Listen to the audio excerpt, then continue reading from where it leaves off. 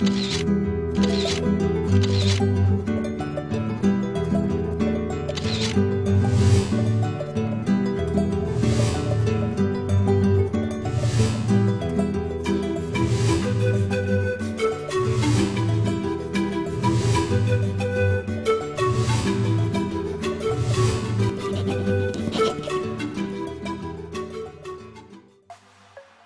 El Señor de las Peñitas es uno de los lugares con una fortísima carga energética en los valles de Oaxaca. Es un lugar mágico y muy reverenciado por el pueblo. Se cuenta que tiene presencia humana desde la misma prehistoria. Otro gran atractivo de Reyes Etla es que se considera la tierra del quesillo.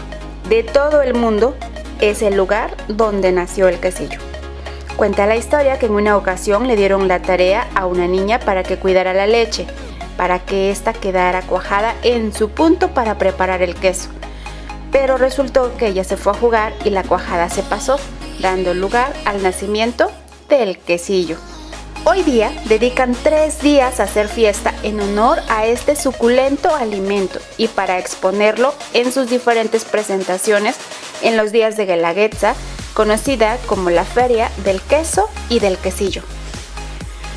Con anticipación, los jóvenes se preparan para celebrar dicha fiesta y los pobladores preparan a sus vacas para elaborar el producto. La inauguración de la feria fue engalanada por los productos locales.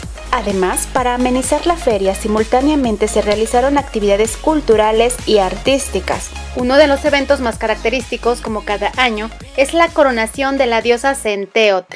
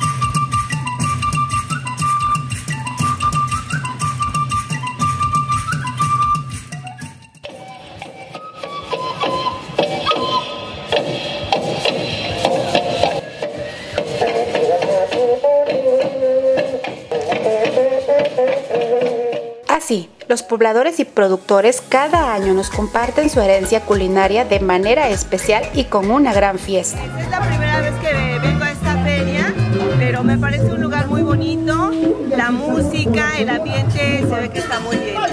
Estoy contenta de estar aquí y pienso venir otros días. Entre Peñitas y Mogotes, la Feria del Queso y del Quesillo es uno de los eventos mágicos en el estado de Oaxaca cada año. ¿Y tú? ¿Qué esperas? Prepara ya tu viaje y participación en la próxima Feria del Queso y del Quesillo, que por supuesto es un motivo más para amar Oaxaca.